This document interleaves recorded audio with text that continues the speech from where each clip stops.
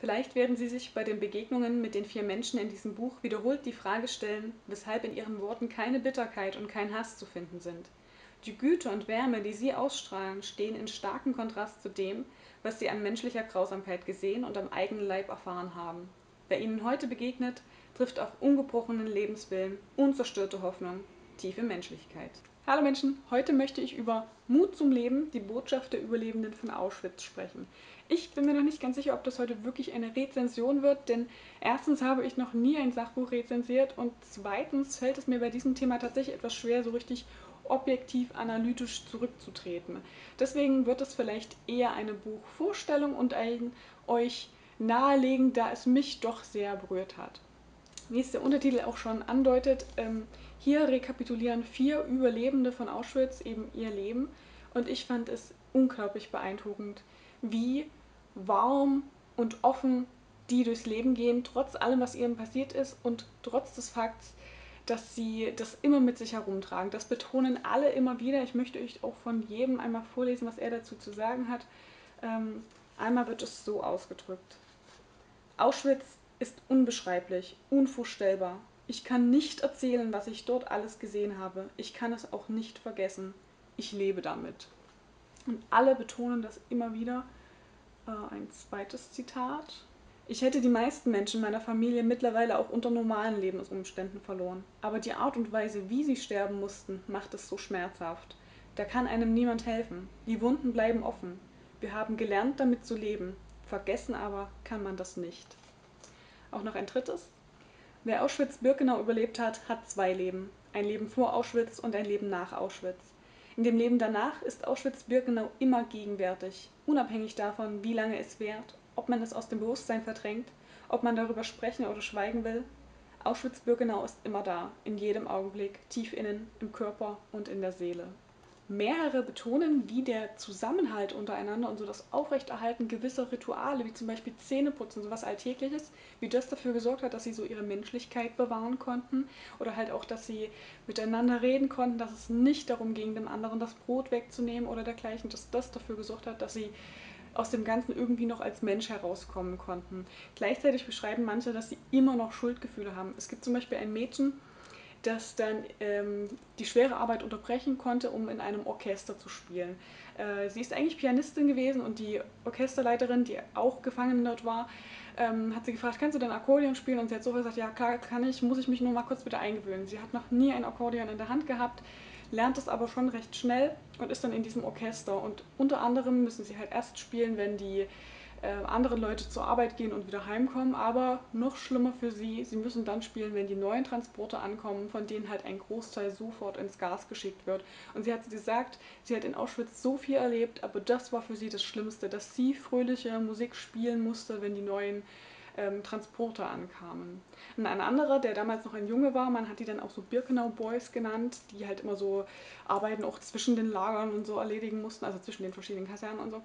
Ähm, der hat dann später die Asche der Verbrannten im Winter genutzt, um sie auf die vereisten Wege zu streuen oder musste sie nutzen. Und äh, das sind Sachen, die die halt ihr ganzes Leben natürlich nie wieder vergessen können, die halt auch so eine gewisse Schuld in sie gepflanzt hat. Auch das Leben nach Auschwitz war zunächst wirklich schwierig. Anfangs wollte kaum jemand hören, was passiert ist. Beziehungsweise selbst wenn man darüber geredet hat, war es halt wirklich schwierig begreiflich zu machen sodass die Überlebenden halt meist allein dastanden, wenn sie nicht eventuell zusammen dann irgendwo hingegangen sind, waren sie auf sich allein gestellt. Auch dazu ein Zitat, in dem eine Überlebende zu ihren Eltern zurückkommt, die Auschwitz nicht erlebt haben. Die erste Zeit mit meinen Eltern war schwierig. Die Rollenverteilung stimmte nicht mehr. Ich war mehr die Erwachsene als sie. Es war nicht möglich, meinen Eltern zu erzählen, was ich alles erlebt hatte. Wie hätte ich ihnen auch erklären sollen, wie meine Schwester starb? Sie haben auch nie danach gefragt. Es war eine schwere Zeit. Du musstest das Erlebte irgendwie allein verarbeiten und dich wie Münchhausen selbst aus dem Sumpf ziehen. Ja, und sie können das Ganze halt einfach nicht abschütteln. In Prag hatte ich später die Gelegenheit, eine Oper zu besuchen. Es war wunderbare Musik. Aber während der Vorstellung dachte ich darüber nach, wie lange es dauern würde, bis alle Menschen in diesem Theater vergast wären. Ich versuchte auszurechnen, wie viele Säcke mit Haaren von ihnen übrig bleiben würden und wie voll die Kisten mit Goldzähnen wäre. Das war unsere Realität in den Lagern. Ich sah keine Menschen mehr, sondern nur das Material, das von ihnen bleibt. Mein ganzes Denken war irgendwie verbogen nach diesen Erlebnissen. Ich war nicht mehr so wie die Menschen um mich herum. Das Leid und zum Beispiel der Hunger, was die in den Lagern erlebt haben, ist für uns wahrscheinlich unbegreiflich. Es gibt ja einen Moment, der mich auch sehr an Hertha Müller erinnert hat, in dem ähm, der Hunger beschrieben wird, welche Phasen es davon gibt und dass man anfangs noch ganz okay damit zurechtkommt, dann geht es los, dass man fantasiert und als letztes steht hier, bis schließlich die letzte Phase eintritt, dann, wenn man schon mindestens ein Drittel seines normalen Körpergewichts verloren hat. Alles um einen herum wird plötzlich so leicht und diskret. Es ist, als ob sich die Welt zurückzieht. Man vergisst seinen Namen und wo man gewohnt hat. Man weiß nicht mehr, ob man noch hier oder schon in der anderen Welt ist. Das ist der Zustand massiven Hungerns. Das sind Sachen, die darüber können wir lesen, aber ich glaube, begreifen kann man das nicht wirklich. Ähm, genauso sind es Sachen, die, die Gräueltaten sind ja eigentlich bekannt. Also ich habe ja nicht wirklich etwas Neues gelernt und trotzdem ist das immer wieder so erschütternd, auch so, so Einzelheiten, die die erzählen. Die Schwester der einen wollte zum Beispiel in die Schweiz auswandern. Die Grenzsoldaten der Schweiz lassen sie allerdings nicht einwandern. Es stand jetzt nicht dort warum, schicken sie zurück und sie wird von den deutschen Soldaten erschossen, gleich an Ort und Stelle.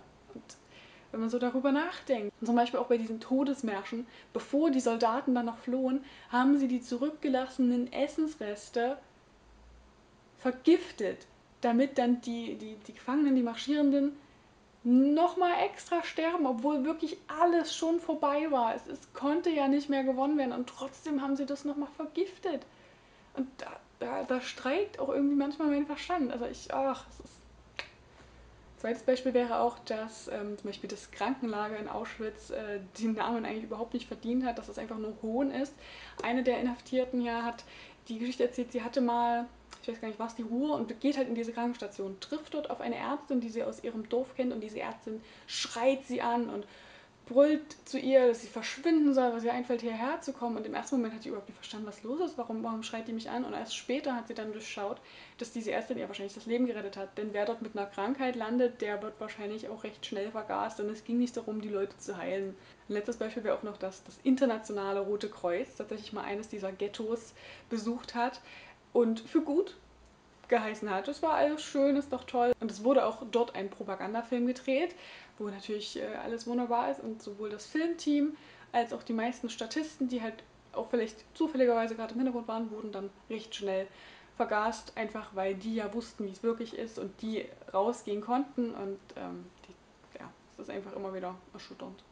Alle der Überlebenden sind unglaublich schockiert und auch verständnislos dem gegenüber, wie halt so aktueller Neonazismus oder vielleicht auch sogar die rechte Regierung in Ungarn zum Beispiel ähm, aktuell wieder aufleben können. Das ist für sie so ein absolutes Unding und eigentlich alle betreiben deswegen so aktive Erinnerungskultur und kämpfen da so ein bisschen gegen an. Auch dazu nochmal zwei Zitate.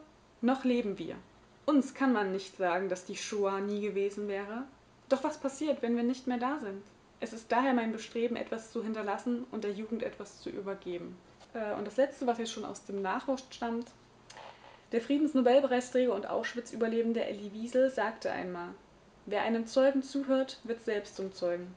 Und so sind Sie, verehrte Leserinnen und Leser, da Sie dieses Buch nun aus der Hand legen, ebenso wie wir zu Zeugen geworden. Sie sind zu Zeugen dessen geworden, was der Mensch dem Menschen anzutun vermag. Und sie sind zu Zeugen dessen geworden, was der Mensch der Unmenschlichkeit entgegenzustellen vermag. Das betonen wirklich alle Überlebende, dass es tatsächlich auch nach Auschwitz halt wirklich weitergeht, dass man immer noch dazu fähig ist, Gutes zu sehen, positiv durchs Leben zu gehen. Ich finde das trotzdem immer noch unglaublich beeindruckend. Das ganze Buch ist auch so aufgebaut, dass es eher eine Art Erfahrungsbericht ist. Das heißt, die zwei Herausgeber lassen zum Großteil diese Überlebenden zu Wort kommen, eben auch wortwörtlich, es wird zitiert und nur ganz selten streuen sie halt mal so ein paar Erklärungen oder Fakten mit ein. Ich fand das eigentlich sehr angemessen für die Situation, dass sie sich jetzt nicht so anmaßen, äh, die Geschichte der anderen erzählen zu wollen, sondern sie lassen sie eben selbst zu Wort kommen. Und von den paar Fakten, die sie einstreuen, hat mich nur einer auch wirklich erschüttert. Und zwar mehr als 15.000 Kinder wurden von Theresienstadt aus in die Vernichtungslager des Ostens deportiert. Nur 250 von ihnen erlebten die Befreiung. Oder? Und wie ich schon am Anfang gesagt habe, ich finde es so erstaunlich, welche Güte die aufbringen und dass sie wirklich nie die Hoffnung verloren haben, dass die so positive, warme Menschen sind. Und dazu nun ein allerletztes Zitat. An einen Gott kann ich nach Auschwitz nicht mehr glauben, aber ich glaube an die Menschen. Und ich glaube an das, was Menschen sich erarbeiten und wofür sie eintreten. Und das finde ich erstaunlich nach diesen Erlebnissen. Auch als eine Art große Vorbildfunktion, denn ich, ich manchmal könnte ich mich schon stundenlang aufregen, wenn mich nur ein Kunde auf Arbeit schlicht behandelt und das ist halt im Vergleich dazu gar nichts.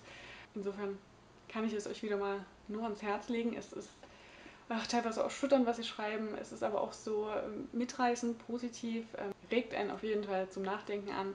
Und darum noch einmal die Empfehlung, Mut zum Leben war wirklich ein sehr, sehr guter Einstieg in meinen Sachbuch September.